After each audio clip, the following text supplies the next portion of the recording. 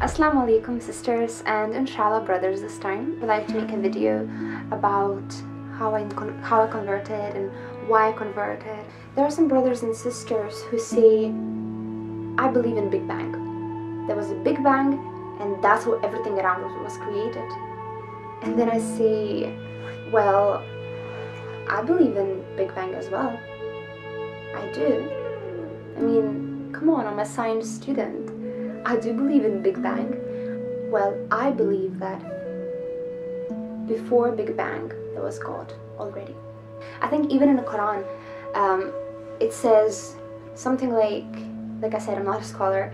I've just started reading Quran recently. Uh, I believe it says something like, we separated the earth, the skies and the earth. Basically, just it just talks about the Big Bang, how how everything was separated.